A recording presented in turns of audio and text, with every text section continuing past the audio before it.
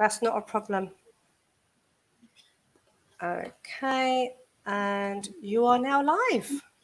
Hey, good afternoon, everyone. Thank you for joining us again on our FBS chat. Today we have the lovely Tara Gretton uh, from the lovely city of Bath. Mm-hmm. Um, we've just completed some training uh, with Tara, and uh, it was really, really um, brilliant. So we're really pleased to have you. Um, so Tara, I always ask practitioners who come on, how, how did you first come across the solution focused approach? And um, when did you fall in love with it? Mm-hmm. Well, I did a social work degree here in Bath in 2001. And one of my main motivations to want to do social work was to work with young people. And I had this real sort of desire and passion for empowerment and justice and fairness um, for for young people. So I decided to do social work, and during my social work degree, I was introduced to the solution focused approach. And uh, the lovely Rob Black, uh, solution focused practitioner, um, he came to do um, a seminar about it. So that was my first introduction, and it just really fitted with my value base. And for my first social work placement, I worked with a user led organisation called People First in Swindon, which is an organisation which is run um, for and by adults with learning difficulties. So that was my first experience of working in that environment where it was really run um, and by the users and who had such a, a strong sense of um, user empowerment. And they taught me so so much. And from that i was like wow this is it. This is my value base. This is what i've been looking for. And mm. that coupled with the solution focused approach it just all made perfect sense. Mm. so yeah, in my early sort of social work career, I continued to to use it, to apply it to my practice, um, and but never sort of had wasn't necessarily using in its pure using it in its purest sense. Yeah.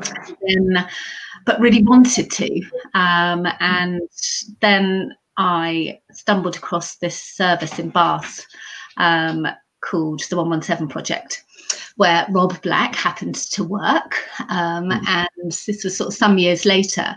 And I found out that it was a it was purely solution focused. Mm. And it was working with young people um, and families to reduce the number of um, children and young people coming into the care system. And I was just, I have to work there.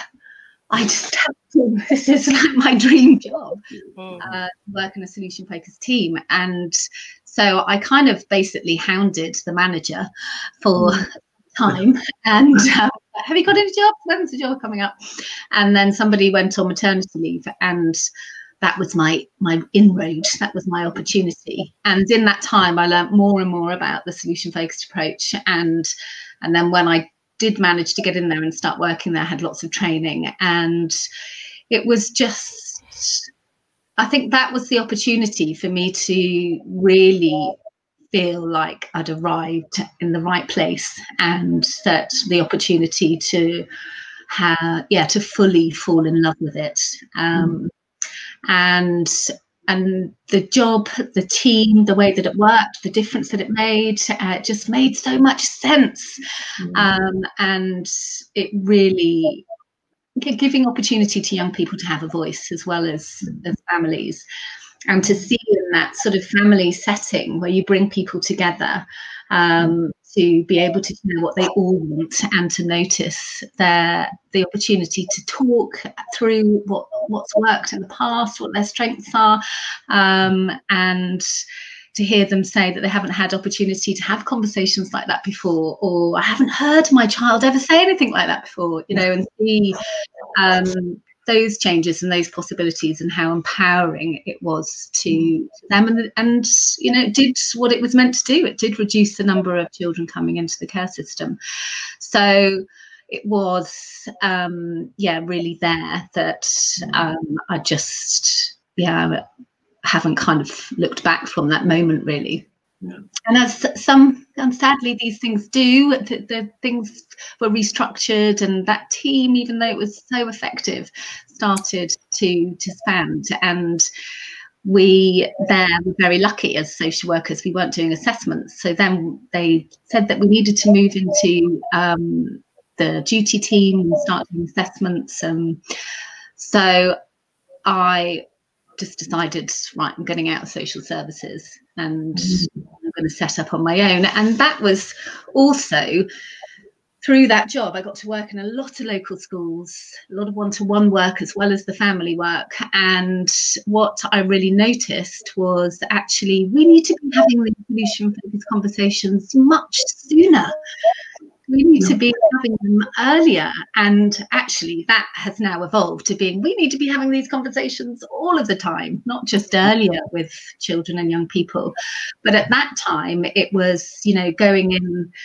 as a social worker, it was at that sort of crisis point and you know, when families met a threshold. And I felt very strongly if we were having these conversations much earlier, then we would be preventing that. So mm-hmm. Yeah, that's when I decided to, much to my husband's horror, just just give up on my own. yeah. Um, and so yeah, I decided to um, to to set up on my own and. Um, for, and, for anyone listening, sorry, Tara, for anyone listening, why why is it so empowering? Do you think for clients this way of working, this way of questioning? What what is so empowering about it? Yeah, I mean, I think what I've heard from, you know, when I've asked young people that question is that quite often they're not asked what they want. Mm. You know, it's not being asked what their best hopes are. And and that opportunity to, to be seen as an expert in, in your own life, that, that your views, your hopes are valued and you know i've really see that you know physically how young people change when you ask them you know so what what are your hopes for our conversation? You know if i was to be of any use to you what will be different afterwards? And they're like oh well i take my coat off you know i might stay for this conversation. Um, you can see them physically re- relax and and that's what they kind of feed back that that sense of um, being asked what they want and really being listened to. I think it's what was what young people have said to me. Yeah, yeah, yeah. And um, obviously being very strengths based is highlighting the skills that they may not have noticed they had. Yeah, absolutely. And really yeah, uh, and I do spend quite a, you know, obviously it depends on the individual conversation and every conversation is different. But what i notice about my work is that i do spend quite a lot of time in that um, inviting them to to notice their strengths and um, and to notice how they did that and to, to real opportunity to describe um, because also the sense and what I hear is that they haven't been asked those questions in that way before to be able mm. to notice themselves and to notice their strengths and resource no matter how small. And I think that can make a real difference to them being able to be in a position to make the changes um, that, that, they want to make.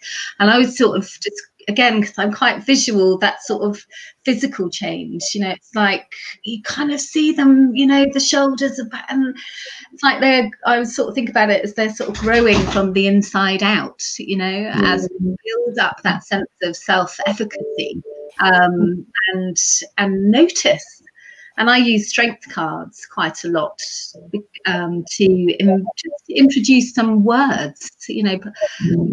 sometimes I find that young people are so uh, find it well they find it difficult to articulate what they've done well and, and in terms of their strengths so sometimes mm. word of a prompt might enable them to start mm. to to describe it um, but yes, I I love that looking for signs of you know of their preferred future, looking for those strengths and those resources. Mm. So you you uh, you did this crazy thing. You gave up your job. Yeah. So, so, uh, and my husband had a new job at the time as well, and he was saying he was just starting a job, and he was like, "This is really bad timing, Tara." well, uh, it, it, was a wonderful decision, and Joe and I have really benefited from that. oh, yeah. yes, and yeah, it's interesting because it was few, uh, it was then that I first met John Wheeler and Naomi Whitehead and mm. and you know, solution focused trainers because I um, wanted to to do a course that um, was had a certificate, with, you know, which was externally validated and that would kind of give me that validity as, as a as a freelance solution focused practitioner, even though I'd had quite you know significant amount of training, and mm. so I stumbled across solution focused trainers and found um, John and Greg and um, went on to do their course, which you guys have just completed. And I did that in Sheffield. Um, and it was, and I met Naomi Whitehead there, a really good uh, colleague and, and friend. And um, then I was like, now I want to deliver this course. This is so good, you know. Um, yeah, and so that's how I came to be delivering that in Bath. Mm. And uh, really, really interested in in the schoolwork because um, obviously um, we've we've done some work in schools, but it's a real difficult one to persuade schools that actually this you should really try this because it's going to benefit you guys. Mm. Um, so I'm just um, really interested in how you managed to get your foot in the door and kept it there and had such success from it. Mm. Yeah, it, it, you know, in the beginning when I, I mean, I was lucky in some ways that I had relationships with some of the schools, with quite a lot of the schools actually in the area, and um, so I kind of had a slight, you know, foot in the door in that sense, and they were used to the solution focused approach because that's what I was doing as a social worker, and they were our team was was known, so that was helpful. Um, and I managed to to have a couple of days a week in as a freelancer as my first sort of job in one particular school. Um, so that was a really good starting point. But actually, it was really hard at first to, and hard, it was at times.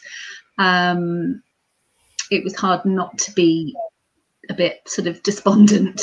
Um, uh, because yeah i think you know i'm quite an idealist and and hopeful and so and i'm like this is amazing well everybody must think this is amazing everybody wants yeah. to be spoken to in this way and have conversations like this and but uh, yeah i was met with some resistance and people mm. that they didn't necessarily um, understand it or you know see possibility in, in having these conversations and so there were some challenging moments um, of trying to get into other schools or um, or to increase presence in the schools that I was already working in. And yeah, I mean, I think I did a lot of proposals, and and not all of them were um, successful. And but one of the things that I just did, I suppose, is just hung on in there and trusted the process um, and just didn't give up. And I think one of the things I realised, you know, you know, and actually social care and education are really different, really different. And I don't think I'd realised that so much until I sort of made the switch. Um, and schools are really busy you know they have so much to do. And actually you know sometimes you might kind of approach them start the conversation and they're just it's not that they don't necessarily that they don't want to be involved but they're just really busy and they've got so much on. So one of the things i've really noticed is just not to give up to go back. And um and i think that's and finding ways to to to, to network i suppose you know finding a mm. contact within that school that i've good good relationship with. And then if i'm in there working one to one with the students that then having an opportunity to present to to the heads of houses or or to a staff meeting or to the senior leaders.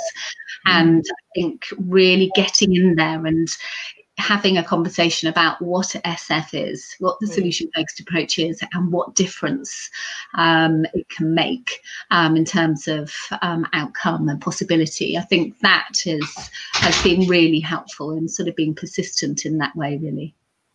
Mm. And and because um, because it's solution focused, the, the variety of issues that you can deal with are quite broad, aren't they? In terms of um, you know the the young people that you would get referred could yeah. be for any manner of problems or issues.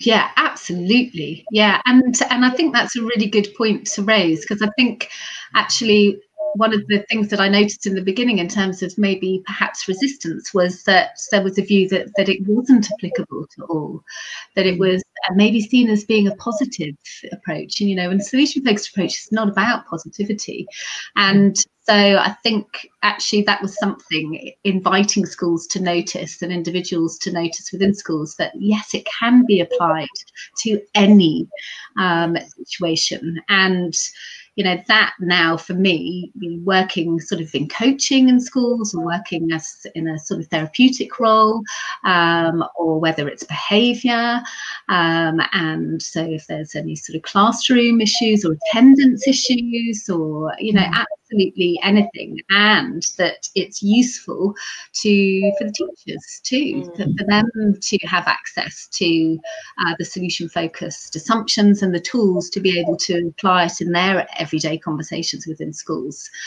So mm. it's just yeah, it's applicable in every aspect of life. Yeah. yeah. And I think I think sometimes they've sometimes individuals um, in any in any organisation, uh, including schools, find that hard to believe because yeah. we're not a specialist with anxiety, or not a specialist with depression, or not a specialist with school refusers, um, yeah. or whatever it might look like. And it's like, well, what do you mean you can cover all of them? Yeah, mm. yeah.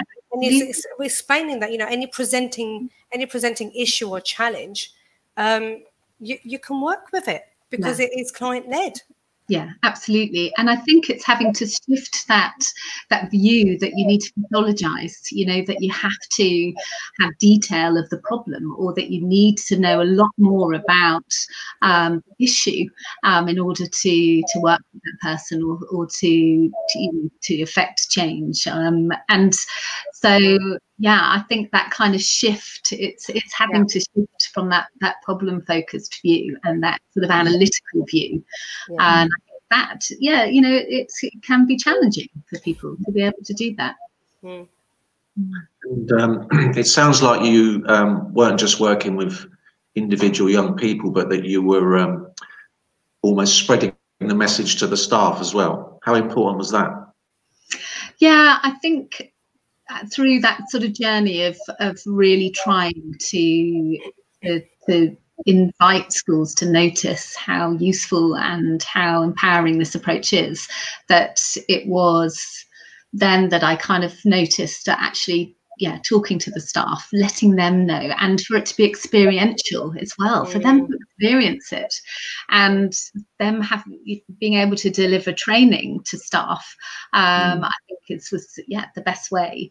And what i've really tried to do as i've sort of under worked to understand education better is to find a way that is is right for the, for the individual school and for it to be bespoke so very much to about what they what their hopes are mm. and that it fits in with the the way that the school works and also that it's building on their existing strengths you know um, so I think that's a really big there's lots of new initiatives, isn't there? There's lots of yeah. different ideas. This is the way we're going to work, and this is the new hallelujah. And actually, there's so much that teachers and schools do well already. So I yeah. think coming from that solution focused position about building on strength and resource, I think is is is more appealing and yeah. and more respectful as well of schools.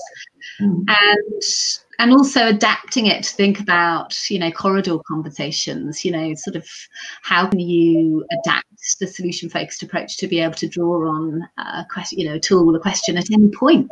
So it's not we're not just delivering training in a in the this is sort of how we might use it in a in a session. It's got to be right for teachers to be able to almost instantly to be able to apply in the classroom or in the corridor um, so that's something I've been really working with to for it to fit um, schools and, and teachers for it to be most accessible. And th- those corridor conversations are so empowering. You know, 30 seconds to two minutes is so empowering. And um, you can actually physically see that student walk mm. away with their head held up high towards their next lesson to, to you know, and, and to their maths lesson or science lesson, whatever it may be, but you can actually really, really see them. That that really short conversation makes such a big difference. Yeah, yeah, absolutely.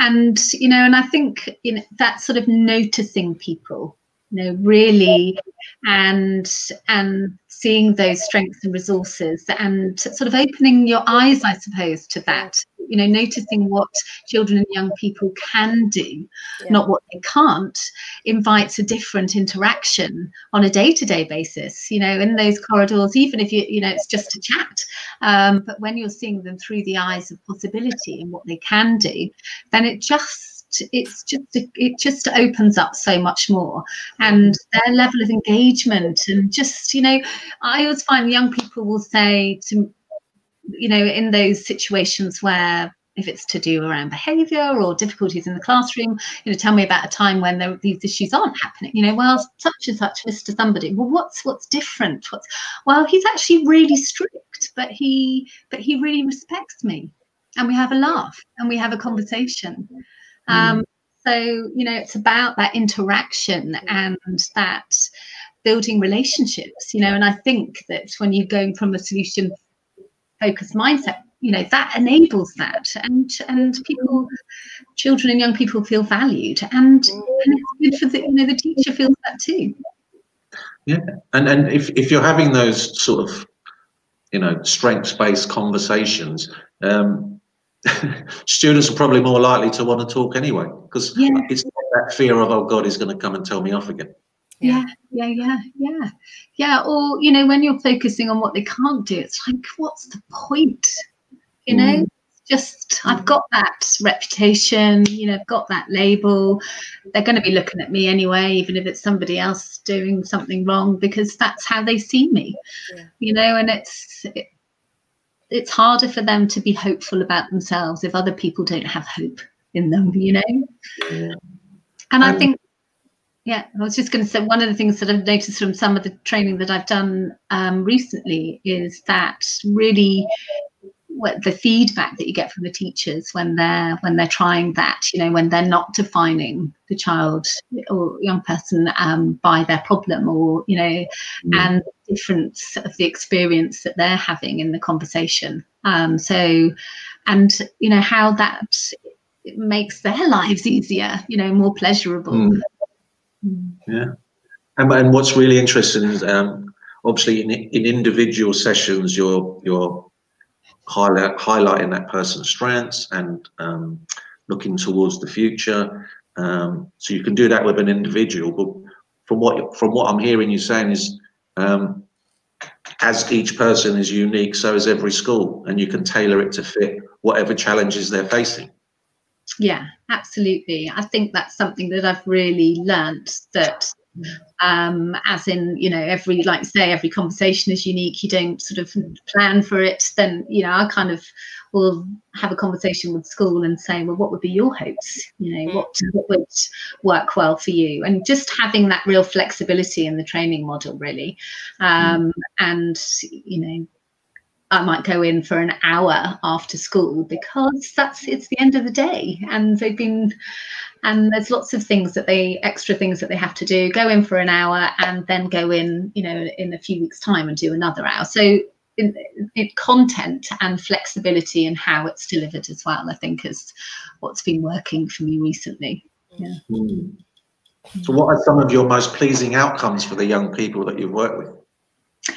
Um oh well, it's it's hard not to kind of purely think in the present moment, mm. um, what's kind of going well, and um, I think something that's really inspiring me and pleasing me at the moment is um, actually I've been delivering solution focused training to a group of young people, and um, and this is sort of come about through some joint work that I'm doing with an organisation called Boys in Mind, which um, is a really amazing um, charity in in Bath. Um, predominantly working with um, boys, but also working with girls as well. But and and that has a real shared sort of interest or passion about, about young people's voice and um, young people being taking the lead in, in, in what's happening. Um, and so part of that, I this school I've trained a lot of the staff and I work there two days a week as well. And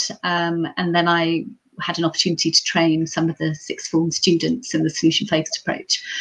And just seeing their them fall in love with it and their passion for it and um, and the difference that it's making in their conversations with themselves with their peers and and actually particularly during this time you know when they've been not going into school and mm. and been in lockdown that they've been supporting each other um, with solution focused conversations and to mm. sort of see their passion and to think about wow these guys are the next generation you know and to think they're going to be taking this from school out into uh, into their adult lives into their workplaces you know into higher education if that's what they're going to be doing and you know as they become um, professionals and that that the, the possibility that they are going to be um, sharing solution focused, the solution focused approach in their workplaces or in higher education. Um, and and just seeing how yeah uh, how it just makes so much sense to them and it's so empowering for them. And yeah so that's something that i am really excited about at the moment and really pleased um, to be a part of. And yeah, so yeah, I mean, there's so many, but that's my kind of main thing at the moment. Um, yeah. So was was the idea that these six formers would be like solution focused mentors for younger children in the school? Yeah, that's it. So the school in their work with they're kind of putting together a new mental health strategy and then their work with Boys in Mind and my involvement too is that they've um, basically trained a lot of the staff and and these, these students and they wear these lanyards um, that makes them identifiable as having had um, this as having um, solution focused training so mm. then they have solution focused they yeah students can seek out one of these uh, older students in in the lanyards and, and go and have um, some support from them and it will be solution focused yeah which That's is yeah. yeah because um, i mean I, i'm guessing it's the same in bath but there have there have been so many cutbacks in education mm. and generally um, generally the support staff that go first the ones that would normally have these conversations so um, training up six formers in the same school. Um, yeah. Not that they can replace staff, but it gives you that extra uh, level of support. Yeah, well, and what Boys Mind have been doing is actually videos of young people talking about their experiences with mm. men and talking to each other. So actually, a shared, a young person sharing their experience to another young person or to a younger group of it's you know what they've said it's it's more relatable it's um, more accessible and it's inspiring and and also the well it's made a difference where more people are, are able to to to feel confident to talk up about what's going on in their lives because other other kids and are, are sharing it. So and i think that really fits with the solution focused assumptions you know and that yeah these young people are are experts in their own lives and and they've got a lot to share and have great wisdom, you know. um, so for them to benefit from each other, I think is just yeah, it's brilliant. Yeah. Tara, when when I first joined your uh, solution focus um, in education networking, I think mm. I met two of the mentors. Ah, yes, yeah, yeah, you did. Yeah, I think Felix and they were fantastic. Yeah, absolutely fantastic. I know, and also, you know, inviting them along to come to. So we, yeah, to set up this um, European in schools network about four months ago, I think, and um, yeah, I really wanted thought it would be great to have young people as um, I thought it's really important to have uh, young mm-hmm. You know, people present at that. Um, and yeah, again, their sort of willingness to to be involved and and what they contributed. Oh, so valuable. I, I, was one of the lucky ones to be in a breakout room with with one of them, and mm. absolutely mm. amazing. The the wisdom and um, it was just amazing to see how in love they were with the approach and the mm-hmm. benefits. They could see all the benefits to their own personal life and in their supporting role. Mm. Um, yeah. And you could see how it was influencing their decisions. Mm, absolutely. And, you know, when I first started working on my own, you know, that is very much what I dreamt of, you know, or, or felt that this everybody should, everybody should know about this. You know, everyone should have an opportunity to learn the solution focused approach or to have a solution focused conversation because it can and does it makes such a difference and is so empowering um, yeah, yeah. so I mean, that's what I think what I think every SF solution focused practitioner um, does, does, share that best hope that everyone in education adopts this way of mm. working because yeah. it's far more empowering for every individual and also as a school as, a, as an entity but also mm. it's it's less stressful. Yeah absolutely. You know and teachers have said to me following training that that they've gone home and tried it uh, you know with their family. yeah and um and actually that and yeah just the difference that it's made to their conversations at home.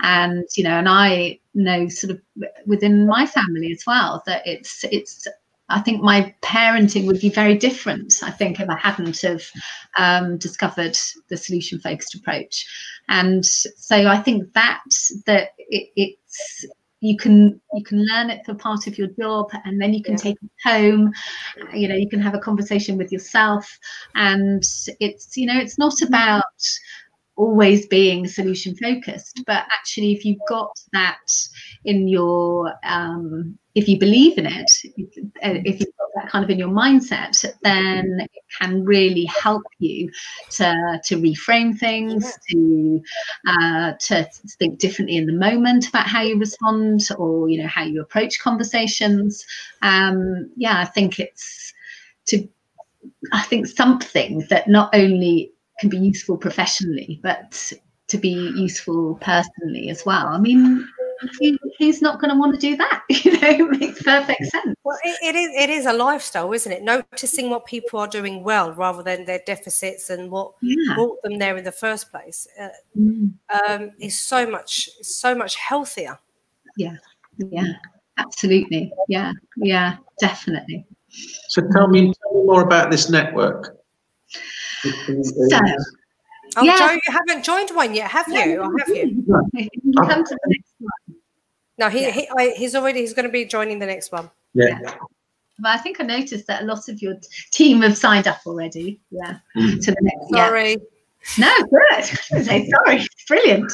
Um, yeah, so Katrin Berger, um, solution focused practitioner in Germany, we've met and you know another wonderful thing about the solution focused community is just to how giving how mm-hmm. um, how open it is. And and i met katrin at, at the world conference i think in frankfurt a few years ago. And we got talking and both working with um, children and young people in schools and like woo, you know so we sort of stayed connected. And when we've been at other um, events and conferences, we've always sort of gravitated towards you, towards each other. So we were in Florence and I mean, and you get to go to these terrible places when you go.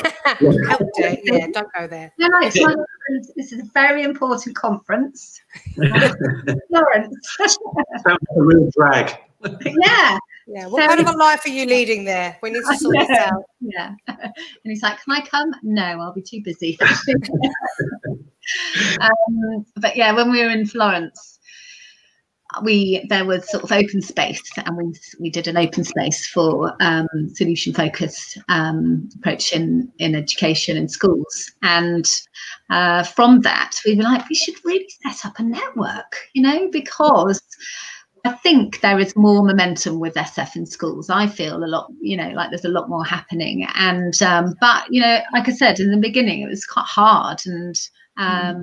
and quite lonely as well when you're mm sort of out there on your own. So the idea of a network um, felt like, yeah, this would be really, really useful and to bring everybody together. So to link, to give strength to the cause and to, and because the SF, it, the community is so sharing people just share their resources their you know their activities their you know um and we can share resources and um and yeah, support each other. So, and then we kind of left Florence, and the idea kind of well, Katrin was busy setting a, a network up uh, locally, but then we got talking at the beginning of COVID and connected, and we said it's nearly World SF Day. I think we said we were going to launch this on World SF Day, so um, we decided that we would we can do this. We can we can um, set up a Facebook group and invite people. And we had a preliminary meeting. And what was really not you know wasn't sort of um, surprising but how how much interest there was and and just enthusiasm you know i just love it um so and you know including yourselves and in that enthusiasm so yeah, we've met. We had a first meeting, then we had sort of launched it on World SF Day, and then last month um, we Katrin led a session. So the sort of format is people want to meet monthly, which is really great, and there's going to be a topic um, each each month and people will get an opportunity to share what's working to share um, what's what they're doing in schools and um, and then yeah there'll be a particular topic that that people uh, will bring and and good old zoom that we're all getting very familiar at, at using. Uh, actually you were my first training guinea pigs for zoom. Yeah we were. and it was fine. It was fine. Mm.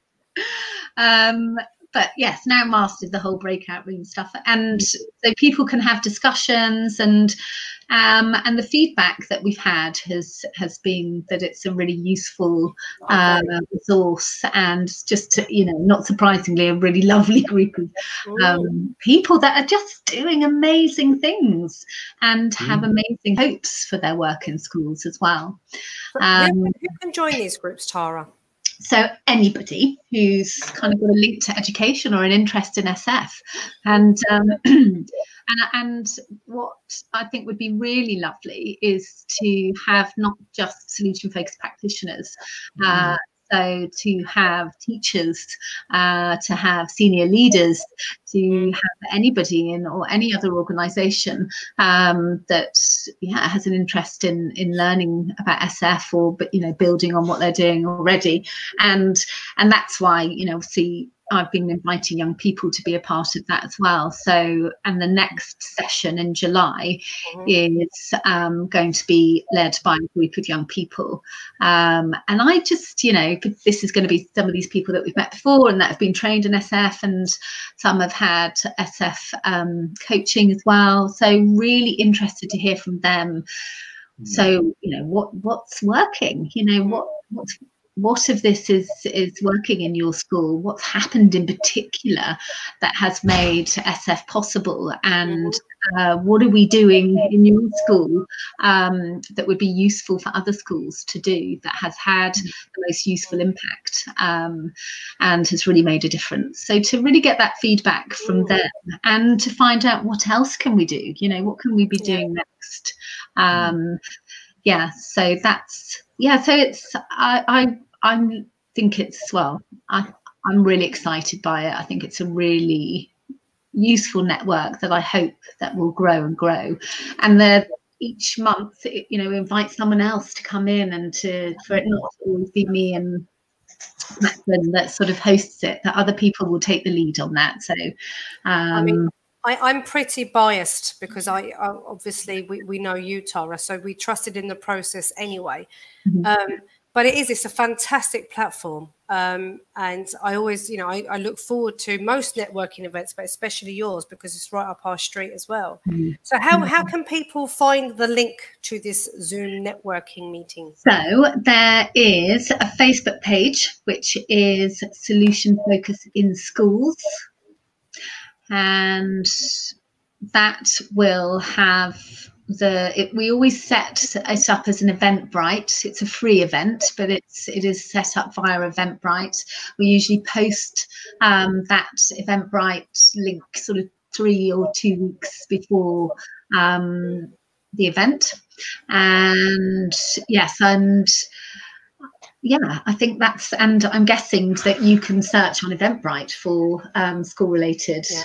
um, talks or yeah but yeah, Facebook page is probably the best place. And also, um, people are invited to share different things on the Facebook page. You know, if there's other events that would be useful for us to um, and there is so much good stuff happening out there at the moment. You know, with everybody sort of accessing um, online uh, workshops and training and so anything school related that can go on there and can be shared, um, then we really invite that as well. And to share something you know that you're using that's um, that's uh, been useful and um, made a difference, or a question, anything.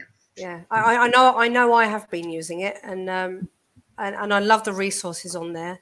Um, yeah. And I know Katrin put a resource on there the other day, the numbers, which we use, but only with little ones. And I think, why don't we use this with adults? me too, because I have the laminate. Yeah, I so the scaling numbers. Yeah.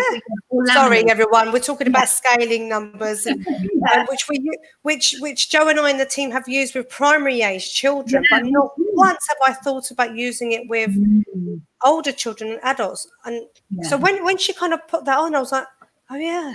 yeah. No, I'm exactly the same. Yeah. And with SF, you do have a lot of oh yeah moments. Like why mm. didn't I? You know, we've got this resource already. Let's utilize it. Let's mm. expand it. Let's mm. use it. Yeah. Um, so yeah, thank you, Katrin. Yes, thank you, Katrin. And I was also thinking that it would be really good to use in training as yeah. well. Yeah. You know? Yeah. There you go. Another oh yeah moment. Yeah. Yes. Absolutely. Yeah, and, like you say, it would be great to have more uh, school staff, senior leaders come on, um, just so they can tell us what challenges they're facing. Um, yeah. But also, like you say, get all those resources. Mm-hmm. And what schools will love is it's free. Yeah. because yeah. there are diminishing resources anyway. So yeah, if it's, yeah. yeah, it's a free event. Yeah, and um, part of the as a sort of result of the the network i recently got to to do in well Katrin and i did an interview with um, sfio solution focused in organizations. And so you know again that sort of possibility to sort of network. And um, mm. and then i also did an interview with SFIO and John Brooker and um, and the senior one of the heads heads at the school another young person and the the pastoral manager for sixth form as well so um, and i think that's really exciting as you say to start to hear the voice of of people who are working in the mm-hmm. school young people but to hear from senior leaders you know um, what is it? What you know what what happened? What what was different that enabled that really kind of invited them to think yeah this is it. This is the approach. Uh, i can believe you know i believe in this and i think this will be really useful to use um, across and this in this instance across the school. Hmm. um, so yeah i'm hoping the network we can invite lots of different people in to come and contribute. I'm on it. Great. Those of you on my Facebook who have got anything to do with education, please do expect a link from me. yeah. And uh, please join with an open mind because we yeah. are, those of us that have worked in schools like Joe and I know how institutionalized you can easily become. And you don't realize how institutionalized you are until you step out of it. Mm. And I think that's the thing about how we approach schools, you know, yeah. in in a way of actually respecting that too. Yeah, you know, yeah, sort yeah. of to sort of um, and actually again building on but perhaps what you know even though there might be things that might be more problem focused or but actually building on what's worked and exactly. noticing that and then inviting this sort of possibility of of um yeah having a different conversation and yeah because it when you've been in uh, education for a long time then yeah like you say it is it, you can be institutionalized yeah oh without even realizing i didn't realize mm. how how much i was mm. Um, so what about um, what about your training arm, Tara? You got you got many hats. Yes, yeah, yeah, yeah. So yeah, the solution focused trainers. As I said, you know, I experienced the course, and then um, uh, uh, well, yes, was very very um, privileged to be able to join um, John John Wheeler and Greg and Stefan and Naomi, and um, it's just a wonderful team. And you know from each of them um, i learned so much you know in terms of what they're doing in in where they live you know so we're spread sort of all over the country. And and what we sort of bring together as a as a training organization. And um, john is he is so em- empowers us to be individuals in our um, you know, John and Greg wrote the training program, but he really encourages us to to have our individual styles and um, and yeah, it's so the course I think really does SF um, justice. You know, I've got a big thing about the solution focused assumptions and how important they are. Uh, so we you know that's a big part of the training and and we do a bit of the history as you know and um and i think it just gives um yeah it's a it's it's a five day course over three months so it's not a lot but it's pretty intense and um and there's lots of things to do um yes yeah, yeah. but it's, it's, actually it's it's only for those that know me you'd know that i hate essay writing and obviously, mm. there's two essays you have to write. So each time I have to write an essay, Tara will receive slightly abusive messages. Tara! and she just does well, she just does the right thing and just completely ignores me and then just sends me a message, you can do it. Yeah. And then I'm like, oh, fine. you know, I feel like I feel like my four-year-old. Fine, I'll just do it. yeah oh well i've absolutely loved having you guys on the course and and i was kind of it was because i think you were going to be doing the course um with kids in london weren't you and then yeah. and then that's obviously with all of this sort of happening it got changed and then well we decided to, to put the course on online and i got to have yeah. two of you which is it was a good move yes absolutely been a so privilege. Far, you know, you know, you know all the headaches you've given us over the past. so it, it, this is uh, this is our chance to get some payback. Ooh. Well, I've asked, I've asked the last, hang on, I've asked the last few uh, practitioners um, because obviously we've heard loads of different solution focused questions and ones that stick in our minds and we think wow yeah i'm always going to use that that's a brilliant one mm. so i've asked them for their top five top five top five solution focused and it could be ones that you use in school with staff mm. students yeah okay. stuff. Um, she's going to knock off points from your essay now yes you should have done this after I'd marked your essay. uh, well, do you know what? I, as I've said already, and you know, I say a lot that the solution focused assumptions are, yeah, very, very important and um, to me and and obviously to the solution focused approach. And I think I know this is not necessarily answering what questions, but I will get stalling, right? stalling. Stalling, No, no, no, no.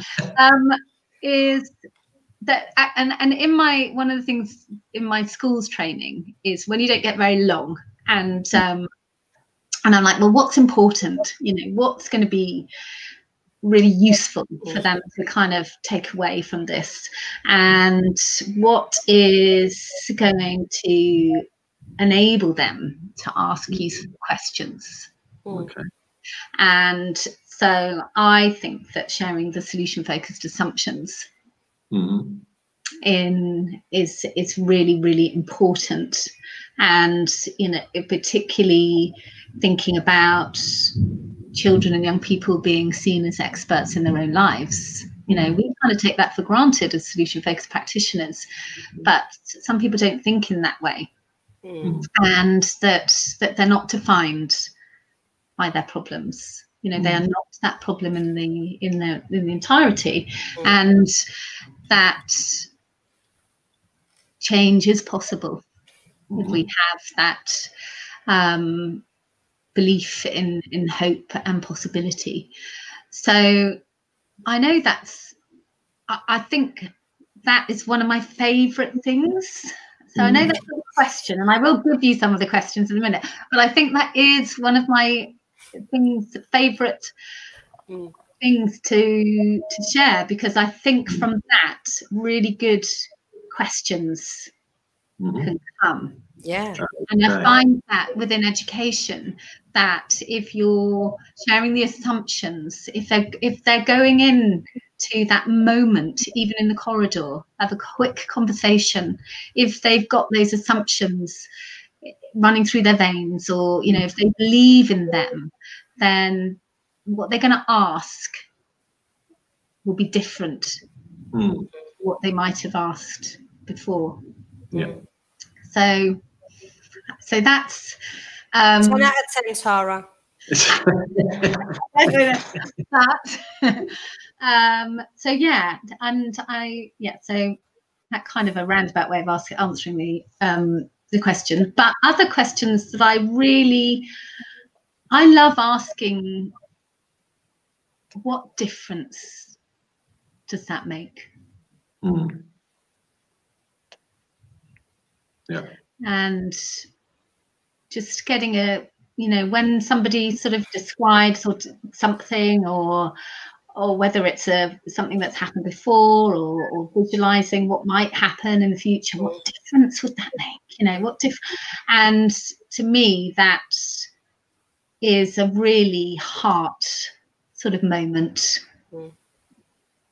and and you do you see know, a physical change don't you so, yeah. Oh, yeah. what yeah. difference would that make yeah yeah and so i i think that's a really really powerful question about what difference would it make. And something i've been experimenting with recently is you know is uh, you guys might know this already but is um if you were to compliment yourself hmm so towards the sort of end of a session, if you were to compliment yourself, you know, or what would you say? Or, you know, what have you noticed about yourself in this conversation today that's been really no really useful to notice about yourself? That's a lovely question. Yeah, yeah. Can I just jump in and say that Grainer and I actually asked that question today? And and and she she struggled a little bit um, but she got there and it was wonderful. And then she actually wrote it in a whatsapp to us. Um, it was it was wonderful to see. And by asking that question it helped her fill in her student profile for her college application. Wow. Um, and it's a very powerful question. Mm. you know i think you know particularly in my work with young people that kind of revisiting or inviting them to revisit themselves in terms of strength and resource you know to really notice yeah, what's yeah those strengths those things that they do well that effort that they've made you know to and i think that sometimes it will to they deserve or it's useful to to kind of ask that question in a few ways and to really consolidate it you know really invite them to yeah you know? Yeah, yeah. Um, so yeah. Yeah we, we like that. We're stealing that one tara. You can have it. yeah, that, that's something else that I love about solution focused practitioners. We're constantly, and it's, it's not stealing, but we're constantly uh, walking around with pen and paper in these networking meetings, whether it be via Zoom or face to face, and just writing down what other people have asked that were useful. And you think, I need to write that down. Yeah. Mm. Yeah. Yeah. And, and we're just so giving in that respect. exactly. Yeah, exactly. And, you know, and I know that there's so much that, you know, so many solution focused practitioners that have inspired me and continue to inspire me and influence my practice, you know, every day. And and because the community is so so giving, so loving that actually, you know, invites you to be able to really grow as a practitioner because it is so generous. Um, and yeah, I'm really grateful for that. Mm, so are we. Oh. Tara, we missed the training now. Oh, you have to come back for follow up days. Yes, follow up days in Bath, hopefully. In Bath, yes. Yeah. Hopefully, we'll be traveling to Bath. But I mean, um, in, in terms of the training, we do, Joe and I really, really, really do highly recommend it. Yeah. Um, especially, and I know I had my reservations, but looking into the history of SF was totally inspiring. Um, and really put things into perspective for me. And I know Joe really enjoyed it because mm. Wow. Many arguments about the PowerPoint. I say it every time, and I said it to you guys. You know, even no matter how many times you've got five people on the course, and they're each doing a presentation about the history, that I learn something new every single time, and particularly with the, yeah uh, the level of detail that you both went into, it's just fascinating. And you know, so, great job. Yeah, yeah, it was really really good. Mm. Really good. So, very quickly, Tara, solution revolution. Yes.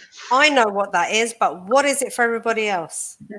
So that is my my business name. Yeah, that's me. And yeah, so what as as you said, I do a lot of work in schools, and I also have I work from home as well. I have a private practice, and I yeah the one-to-one work, the training. But something I'm also very passionate about is um, solution-focused group work as well. And I do a lot of group work in primary schools and inviting different practitioners like DJs and drama teachers, and just kind of having this fusion of SF and something interactive or physical and uh, so yeah that's kind of what solution revolution is all of those things. Yeah yeah and anyone can look that up on facebook can't they? Uh, yes, you do Facebook page. yeah. Um, and and tara's website. Great. Any questions joe before we close up?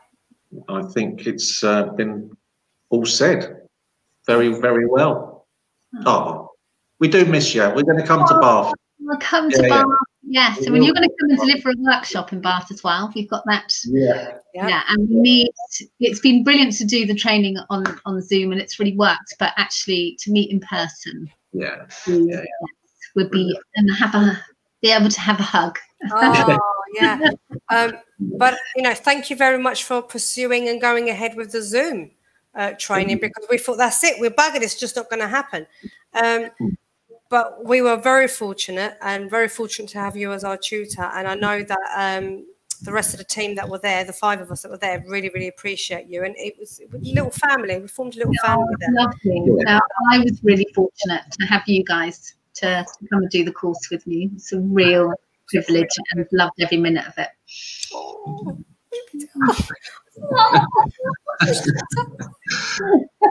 um, so Thank you very much for joining us.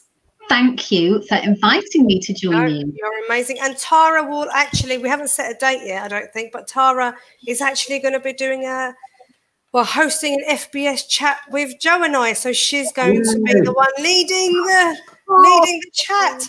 What questions am I going to ask you, Joe? you could have said direct them at Jo. No, please direct them at Jo. Okay. I can talk about strengths and all of that, and anything where you're trying to catch us out Maybe that goes to Jo. Questions about the history, maybe. Believe it or not, even I know Joe. Jo knew that even before the training, which was what made me laugh. But even I know now. Mm-hmm. Well, I'll be it's looking embedded. It's embedded. About your history, your journey. Yes. Mm. So you can you can be inqu- positively inquisitive about our journey. I shall look um, thank you for. So we will set a date up for that. Um, so see you guys next time on the FBS chat with um, another SF practitioner, which I shall reveal 48 hours beforehand. Mm-hmm. Tara, I'm going to end the chat, but please do not go anywhere. Okay. Is that okay? Um, take care, everyone. Bye. Bye. Bye.